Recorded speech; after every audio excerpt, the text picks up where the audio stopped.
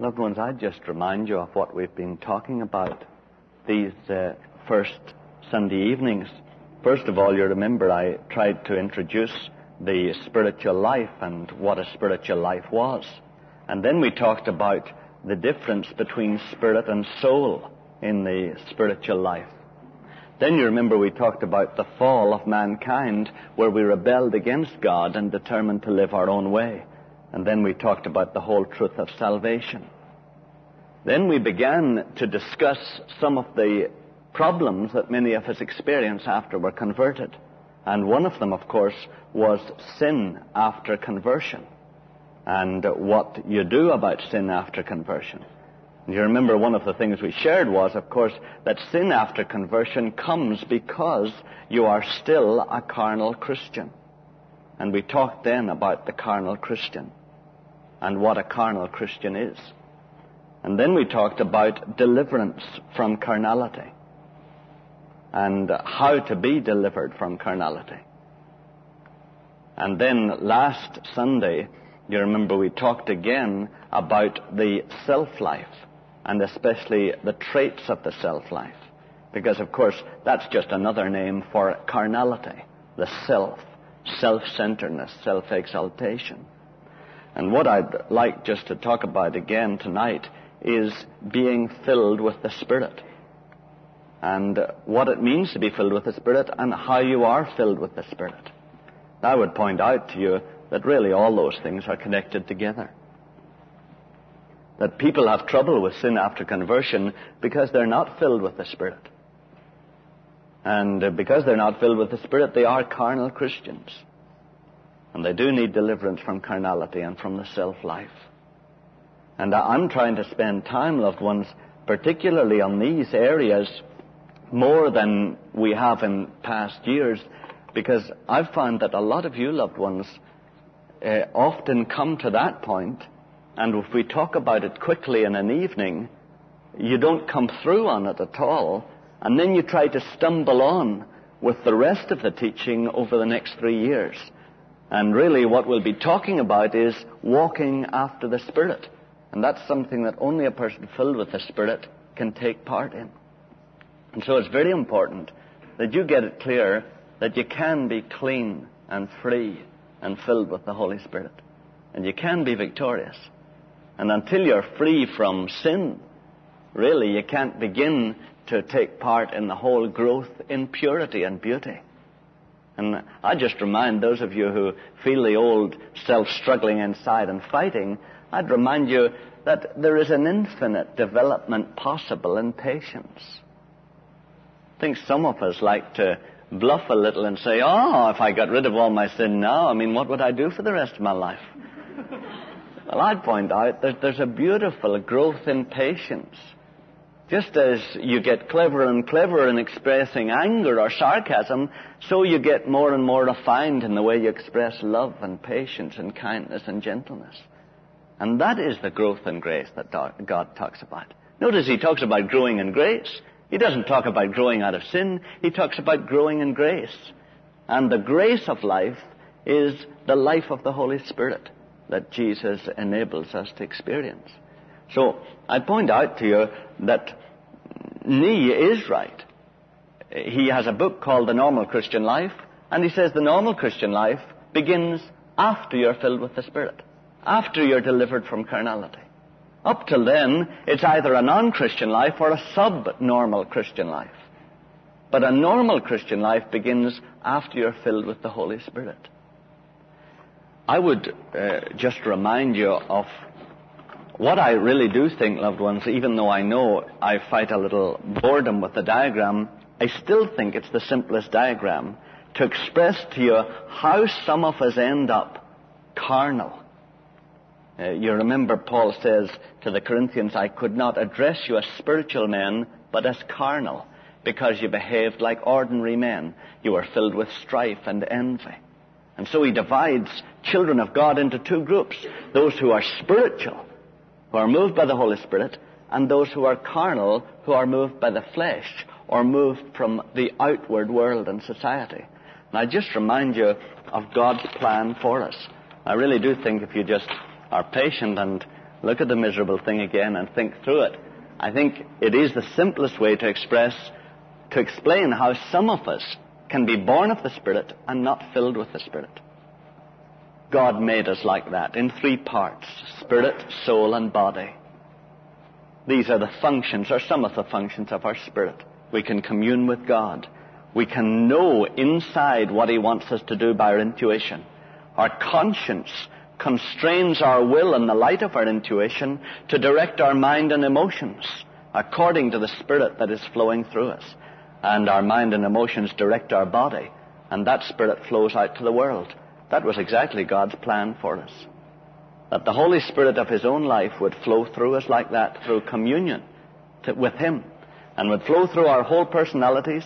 Our mind would understand, our will would obey our conscience, our mind would understand what our will was telling us to do, would send out the right directions to our body, and our emotions would express the joy of our fellowship with God. And so the whole life would be an expression of outgoing spirituality and liberty and blessedness that we shared with God. So it would be all an outward movement. We, of course, rebelled against that idea. We determined we'll live on our own. We want to be like you, God, but not so that we're going to fellowship with you or have to depend on you. We want to be like you, like God. We want to be a God. We want to be able to do what we want to do. That's how we want to be like you.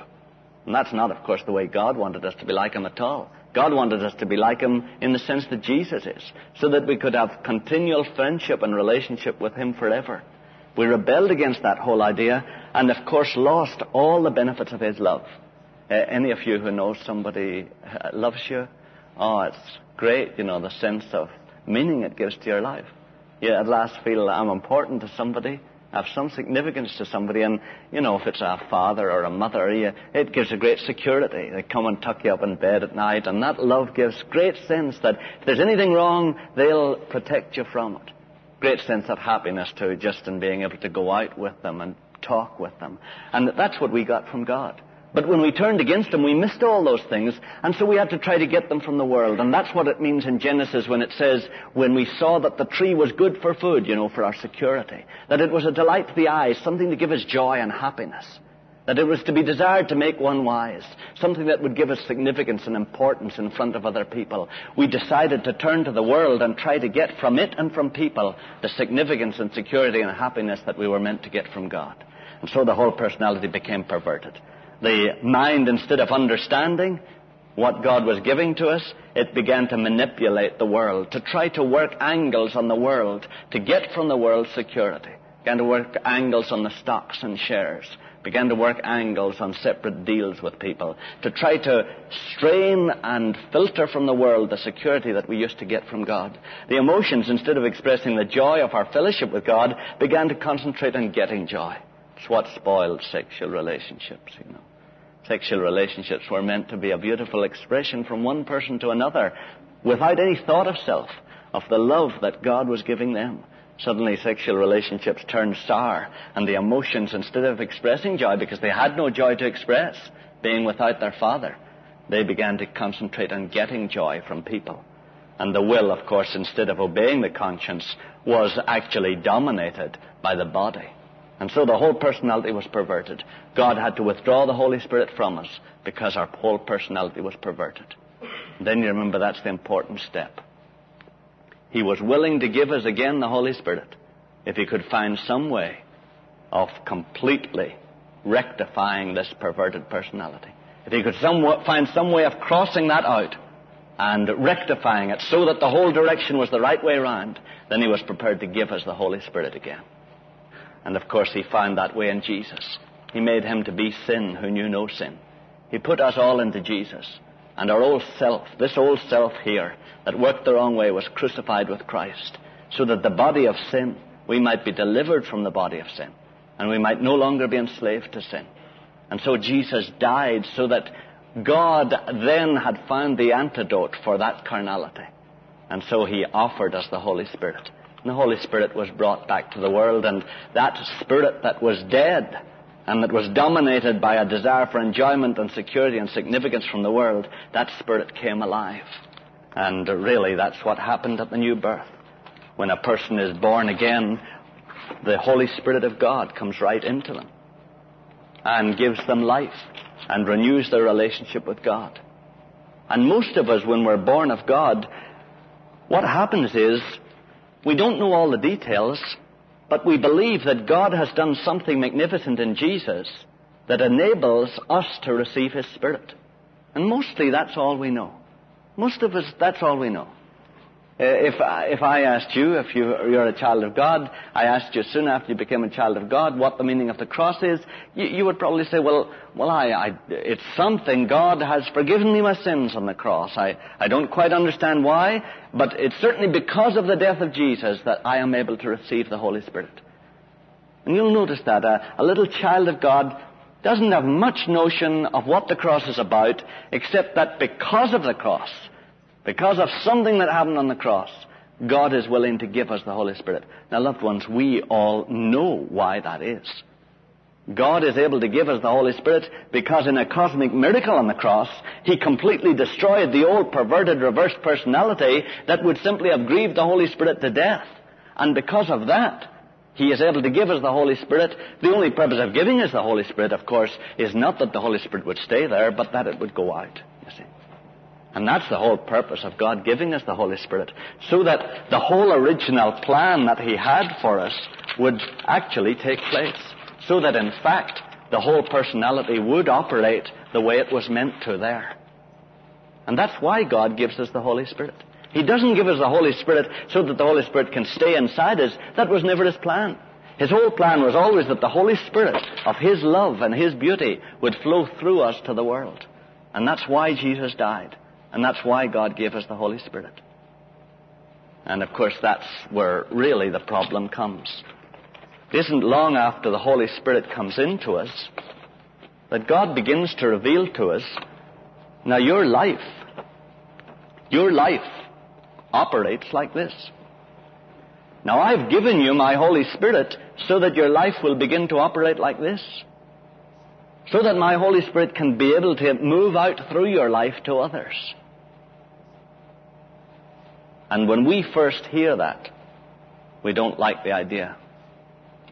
Because we like having control of the security we get from the world. We like having control of the amount of significance we get among people. We like having control of our own happiness.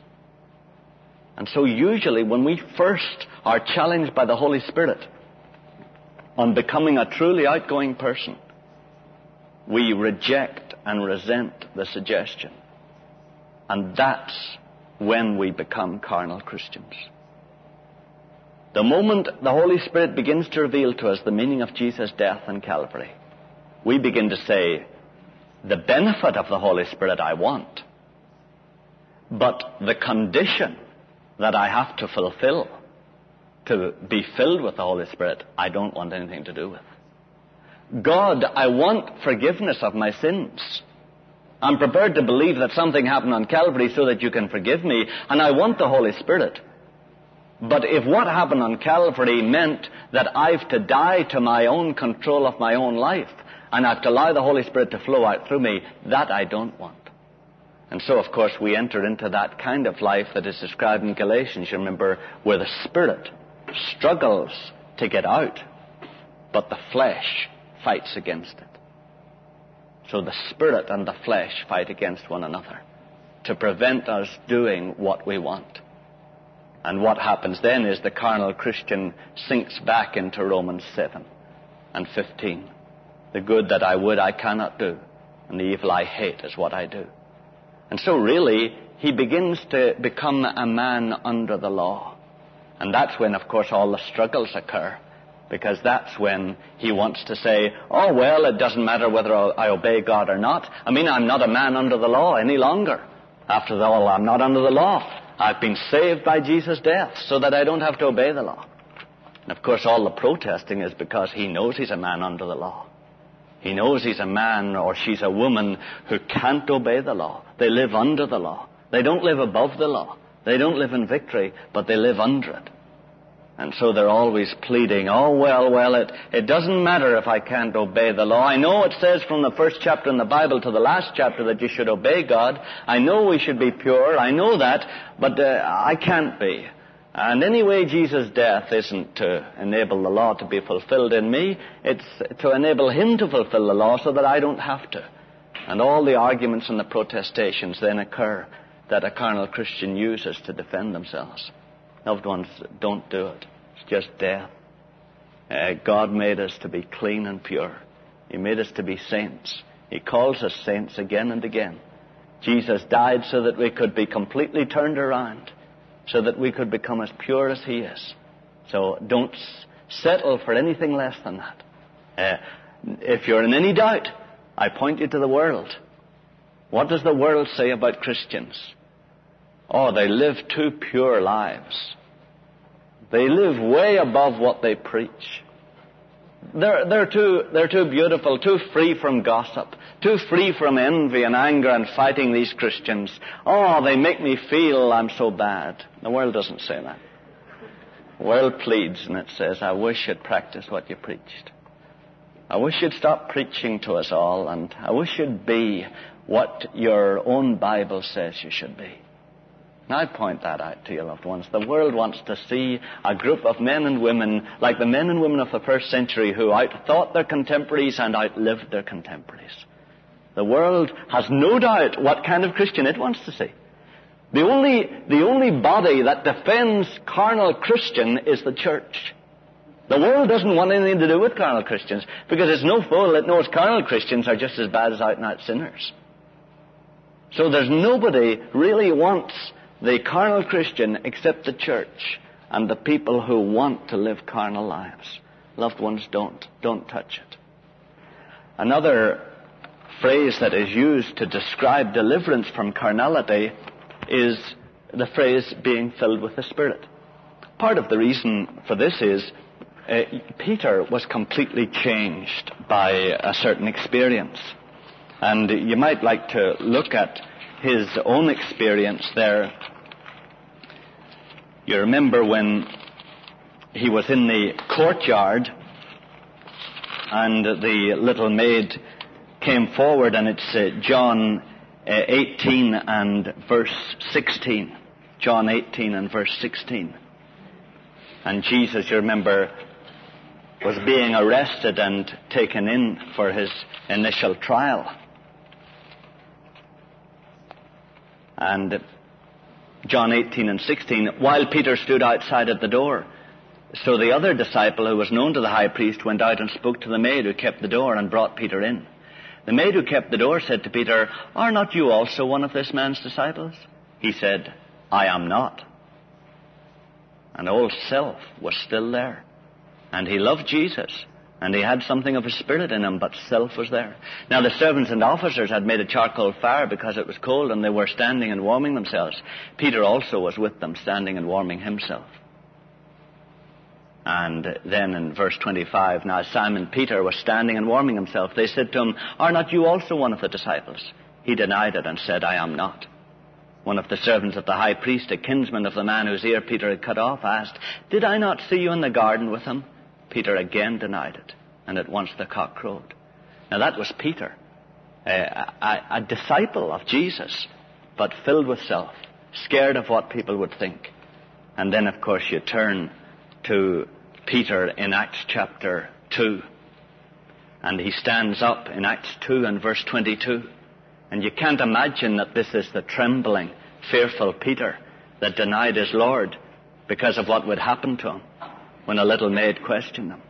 Acts 2 and 22, he gets up in the very, front of the very people who crucified Jesus and he says, Men of Israel, hear these words. Jesus of Nazareth, a man attested to you by God with mighty works and wonders and signs, which God did through him in your midst, as you yourselves know. This Jesus, delivered up according to the definite plan and foreknowledge of God, you crucified and killed by the hands of lawless men. And Peter is a completely different man. No fear of men. No fear of what people will do to him. What occurs between those two Peters? Oh, Acts 2 and verse 4. Acts 2 and 4.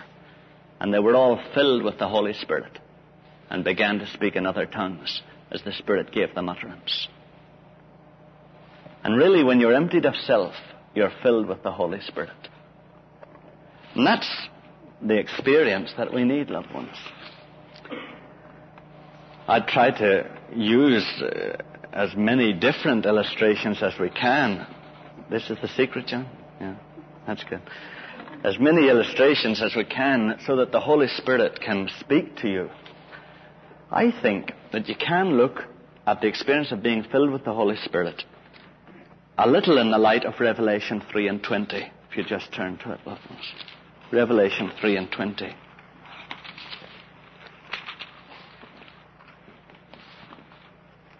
It's a verse that we all know well. We normally think it applies to Jesus, but it's really the Spirit speaking to the church, as you remember. In verse 13, he who has an ear, let him hear what the Spirit says to the churches. And then Revelation 3 and 20 is what the Holy Spirit is saying. Behold, I stand at the door and knock. If anyone hears my voice and opens the door, I will come into him and eat with him and he with me. So the experience of being born of God could be likened to the Holy Spirit coming and saying, I stand at the door and knock. If any man open the door, I will come into him and will sup with him. So I will sup with him. I will be the guest and you will be the host. I will sup with you. And then if you let me, he will sup with me. I will become the host and you will become the guest. One way of thinking of it is that your own life is a house. And the Holy Spirit comes to the door at the time of your conversion and points out, of course, that you have no relationship with God at all. And that God is willing to have a relationship with you if you'll deal with the, normally the actions and the words in your life that are wrong. And normally that's the first thing God deals with, the actions and words of self that are outward in your life.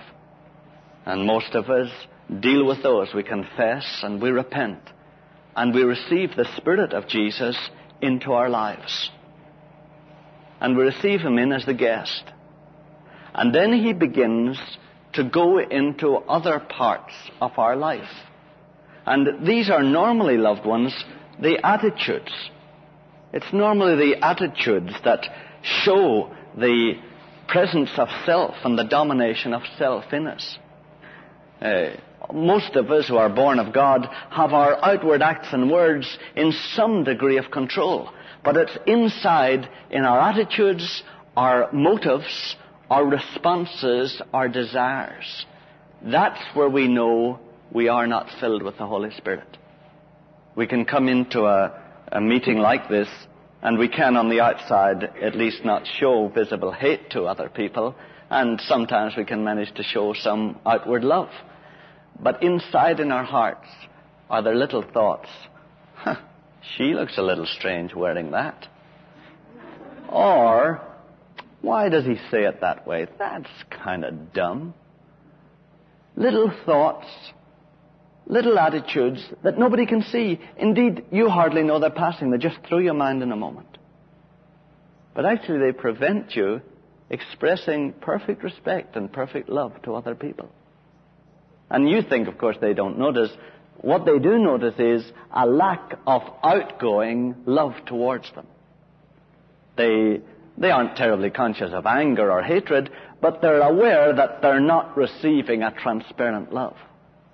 Now, it's in the attitudes that you know that you're not filled with the Holy Spirit. See, I think a lot of us constantly talk about sin as if sin is me taking the Bible and throwing it at John as hard as I can. But sin is me wanting to do that, whether he, whether I actually do it or not. Sin is not loving him as Jesus loves him. Sin is any uncleanness in the attitude at all. Any uncleanness in the, in the motive. Uh, thinking of Laurie singing here, or me speaking, or John Newton playing and singing. You're up here and you're apparently doing God's work, and you're doing it beautifully. But inside the motive is I wonder do they think I'm really good? I wonder do they really appreciate what I'm doing? And the motive is self and not God. Now, that's, loved ones, the kind of inner attitude or inward sin that reveals to you that you're not filled with the Spirit. Now, those are the things that the Holy Spirit begins to get to. So, He comes first of all into the entrance hall and He points out, you know, you are selfish in regard to people. You're unselfish when it suits you, but that's not unselfishness. That's just convenience. You're actually selfish if somebody asks you to go somewhere with them and you don't really want to go there. You're selfish with people. You often say, oh, you're not very good at meeting people, but actually you're not very good at putting yourself out for people. The Holy Spirit begins to deal with that kind of attitude. Or He begins to deal with your fear of people. And He begins to say now, why are you afraid of people? Is it because you care what they say, what they think of you? Is your reputation in people's eyes important? Do you mean to say that if somebody didn't want you to do something and Jesus did, that you'd yield to people rather than to Jesus? The Holy Spirit begins to deal with you on the same level as he dealt with Peter uh, in regard to the little maid in the courtyard. Do you care more about what people think of you than you do about what Jesus thinks of you? Or are you prepared to die completely to what anybody thinks of you? So the Holy Spirit deals with you on those issues. Begins to go into the bedroom. Begins to bring before you your laziness. Not just dealing with you on did you manage to get up for work this morning, but isn't there a laziness in you? Maybe you do manage to get up for work, but don't you have an attitude that really wants to lie in bed? And suddenly it begins to dawn on you that it is possible to have an attitude that wants to get up. That it is possible to have Jesus so in you that you don't have a temptation to laziness. And the Holy Spirit begins to deal with you in regard to that, begins to point out to you some of the laziness that nobody else sees. And we all know where that is. We cover our laziness up. And the Holy Spirit begins to say, Do you see that you cosset your body? In fact, you love yourself. You protect yourself every time you possibly can. And do you see that that is not what Jesus did for you? Jesus laid himself out on the cross. Convenience is a silly word to use. It was far beyond inconvenience for him to lay himself out on the cross. It meant death for him. And he had no thought of what would be easy or comfortable for himself at that time. And the Holy Spirit begins to deal with you in your laziness. That it is really a feeling you have that you have a right to do things when you want to. And that's when the Holy Spirit begins to first reveal to you what He's getting at. He's getting at your domination of your own life that you're running your own life. You're running it on the whole for God, but you're still running it. You're the one that decides what to do. And in fact, what the Holy Spirit is saying, you're still the host in this house, you know. I really haven't the freedom to rearrange the furniture here. It's you that has this furniture arranged, and you're asking me to come in and liven it up a little. But do you see that I want to take over your life completely? I want to control it utterly. And so he begins to deal with the self-indulgence in your life. The little things that aren't very sinful, but they're just, oh, the attitude, even the attitude, loved ones, I deserve an ice cream today. I do. I deserve a rest today. I've had a hard, hard day. I deserve a break today. The whole attitude that says, I ought to, I ought to, poor old me, this body can only take so much, and I have given it more than twice as much today. And it's a complete rejection of the belief that Jesus is able to enable you to do all things. That your body, fired up and strengthened by Him, can do more than any human being could think they could possibly do. The Holy Spirit begins to get at your self-indulgence, which is based always on the, your own ability to do things. He begins to deal with your self-pity. Uh, loved ones, I, I think, honestly, with due respect to your loved ones who are tied up with self condemnation, sometimes I wonder. Sometimes I wonder is it not just sick self pity, you know? And, and really, we, we children of God who are called to follow the Nazarene and to be indifferent to ourselves, I think sometimes we're the most pitiful crowd you could see. We are able to sink into a self-pity about the terrible trials we're having and the terrible things we have to bear that is pitiful compared with what some of those happy warriors express who know nothing of God. And self-pity, you know, is, is just the heart of sin. It is the heart of sin. And we all think, you see, self-pity is, oh, crying, crying over yourself. And you say, well, I haven't used up too many Kleenexes over myself. I don't cry much over myself. But self-pity doesn't need to be crying over yourself. Self-pity is just yourself. Oh, this is terrible what I have to put up with. That's self-pity. And I think a lot of us are just caught in that miserable, miserable self-pity. And we're always thinking of what's happening to us. Loved ones, honestly, I think the safest thing is not to be thinking of yourself at all. And if you're ever thinking of yourself, you're probably thinking of yourself in a self-pitying way. And it's probably safe just to keep clear of yourself. You won't lose anything by leaving God to look after yourself. He's done a good job so far, and he'll probably do a better job than you've done up to the moment. And self-pity is so often any thought of self. How am I doing? How are people dealing with me? Worry, you know. I think a lot of us say, Oh, yeah, well, I've this thing with worry, you know. I have a terrible problem with worry. On the whole, I'm very victorious, but I have a problem with worry and anxiety. Oh, I just inherited it from my father, you know. He was a worrier. And I'm a worrier too. And we all are, are kind of proud of it, you know. And we fail utterly to see, look, it's downright sin. Jesus gave us a command, be anxious for nothing, but by prayer and supplication let your request be made known unto God. Have no thought for the morrow. The morrow will take care of itself. Sufficient unto the day is the evil thereof. Jesus laid it on us straight, as clear as thou shalt not commit adultery. And it's sin to worry. Why? Because worry is refusing to trust God, your dear Father. It's refusing to trust Him. It's a desire to control the thing because most of you would say, you see, oh, well, I, I mean, I worry, you know, for a reason. I worry because I'm not sure if this thing's going to turn out all right. Do you think that's the real problem? I don't think so. I don't think you're worried about whether it'll turn out all right. For instance, if it turned out the way God wanted it to, would you be happy? You'd probably say, no, no, I want it to turn out the way I want it to turn out. And that's why we worry. We worry not in case the thing will turn out all right, but whether it'll turn out, all right the way we want it to. And being clear of worry involves handing all that over to God. Lord, let the job turn out as you want it to, whether it means my promotion or my demotion. The Holy Spirit moves into the office and begins to deal with the attitudes that we express deep down little pride, you know, that the secretary that we can express about how brilliant we are. And uh, little envy about the guy who gets promoted before we do. And uh, nobody else sees it, but we go home with a little sadness of heart. And you notice these things don't usually show too much on the outside, except that they don't show in perfect rejoicing.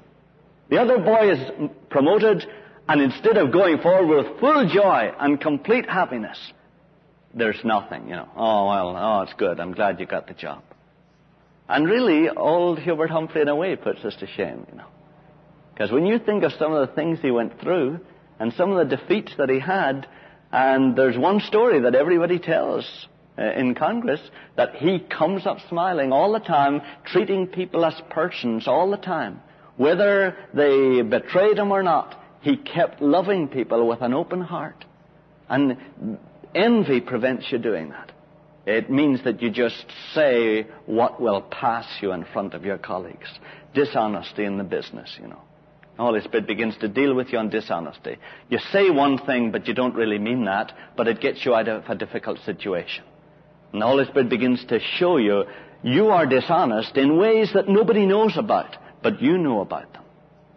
And he begins to show you you're dishonest because you're still God. You want to control this whole thing. You want people to think of you the way you want them to think. Are you willing to die to what people think of you? Are you willing to give the control of your own life over to me so that I will bring about whatever I want in your life. And that's really the heart of dishonesty. Dishonesty is the old Jacob manipulating his way into the kind of success he wants. Holy Spirit begins to deal with you on the love of praise. Oh, that's, you know, we, it's so embarrassing, isn't it? It's embarrassing. You don't like to talk about it. We are children. We are big babies. Really? But isn't it such a shame that so many of us are not beyond that stage? We're dying for a little bit of praise. And really it is because we're not satisfied with the praise that comes from God only. The Holy Spirit begins to deal with us on that. Then He begins to go into the lounge and deal with those attitudes that we have, jealousy of other people, exaggeration, not speaking exactly honestly as it really is, a lack of love for people, and a love of ease for ourselves. And the Holy Spirit begins to show us you have these things, and they're really all connected with the protection of self. You don't want to be crucified. You don't want to endure the terror and the discomfort of being crucified with Christ.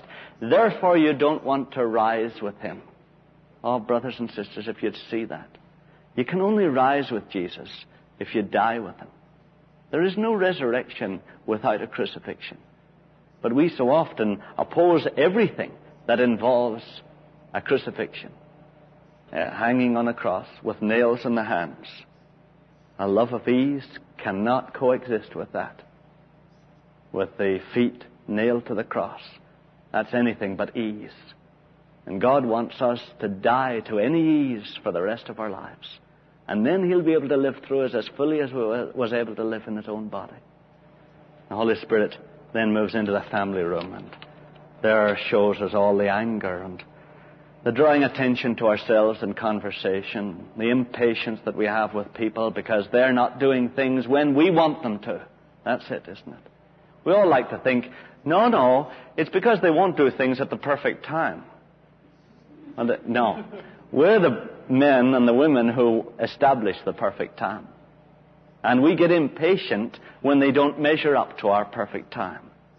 It's so different when at last you say, Holy Spirit, you alone know the perfect time. I'm content with that. Whether they come and do the thing at my time or not, what does it matter? You're God, Lord. It's you that knows. I hand it over to you. The Holy Spirit begins to show us our impatience and our touchiness, which is just self-consciousness, and our criticism of other people, which is just building ourselves up at the expense of tearing others down. And then the Holy Spirit comes into the chapel and points out the deadness of our spirits and the dryness and the lack of power in our prayer lives. And deals with all these attitudes. And bit by bit, as the Holy Spirit goes round these rooms, we respond. And often we do. Many of us have done this. We've taken it one by one and we've cleaned the stuff out of this room. Cleaned the stuff out of this room, uh, out of this room, out of this room. Until the Holy Spirit has got through every room in the house and He has every room clean. And we still wonder why we don't seem to be victorious. Why we don't seem to have the overflowing spirit of Jesus' love in us. And then the Holy Spirit takes us to the closet at the back. And there we've moved all the stuff out of these rooms into this closet at the back. And it's interesting how we do it. This closet, loved ones, doesn't show up very clearly, but it has self's rights and ways. Self's rights and ways. And what most of us do is we try to negotiate individually on these vices with the Holy Spirit. But we always retain the right to bring these vices back into our life. That's what we put in the closet. We put in the closet self's rights to its own way. And we always feel in our hearts, yeah, but whenever we need jealousy again, we'll pull it back in. Whenever we need envy again, we'll pull it back in. Whenever we pull anger, okay, I, will let you have your way, Holy Spirit, now. But we won't die to our right ever to be angry. We won't die to our right ever to be envious. Die to our right ever to be self-indulgent. And loved ones, that's what the Holy Spirit is after. All these attitudes and motives and desires are themselves only symptoms of self that is in that closet. And it's self uncrucified. Self not willing to hang on the cross with its Savior so that it can rise with Him. Brothers and sisters, I have to repeat, you know, just briefly what I shared last Sunday. The death of Jesus is the key. The death of Jesus is the key. And evangelicalism for years has exalted the death of Jesus as a penal substitution so that we could carry on living so often the kinds of lives we wanted to and yet not be condemned for it. Loved ones, the death of Jesus is the key. It is the center. But it is the death of Jesus experienced by us through faith by the power of the Holy Spirit. The death of Jesus is the key.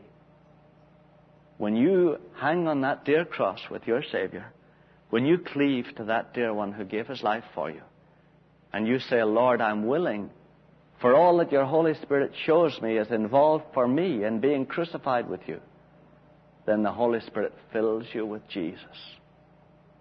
And these things are cleaned out of your life. Now, I have to push on that because I think a number of you say, You mean it doesn't rise? I mean it doesn't rise.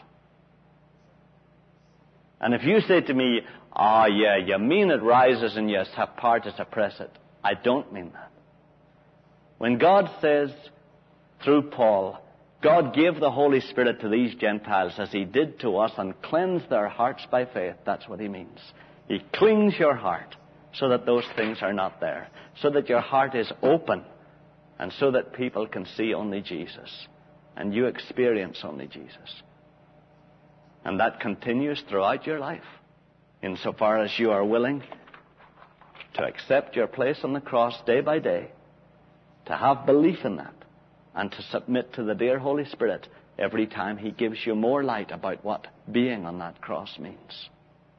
But the Holy Spirit cleanses your heart. And loved ones, I have to push you on it again. I would not be here on this stage saying these things if the Holy Spirit was not able to do it in my life and in your life. And the Christian life, it was old Humphrey said to Mondale, life is not to be endured, it's to be enjoyed. I say to you, the Christian life is not to be endured, it's to be enjoyed. The Christian life is a beautiful, spontaneous expression of Jesus. It is not a defeated, burden kind of experience of carrying a cross on your back. It is not. It is being borne by the cross and then being lifted into the heavenlies with Jesus through the power of His Spirit. So, brothers and sisters, I have to say to you that if you're going to come here for the next 60, 70 years, for the next 60 or 70 years, I'm going to keep telling you this. Because it's true. This is what Christianity is. And this is what God has for you, you know. So I just ask you, be hard on yourself. Stop all this silly self-pitying stuff, you know. Stop saying, oh, how hard God is. And get to what John shared at the beginning. Let's regard the law as our dear friend who can free us from all the things that spoil our lives. And it frees us by being our schoolmaster and continuing to say, no, no, there's freedom, there's freedom for you. And I'm going to continue to shake my finger at you until you get to the cross where that freedom is. And that's what the dear law does. And he drives us to the point where we see that the purity that God requires of us is beyond what we can produce ourselves. And it has to be produced by self being destroyed and a new creation being put in its place. And that's what happens when you accept your death with Jesus. Even a brief, brief questions, loved ones. It's late, I know. Any brief questions?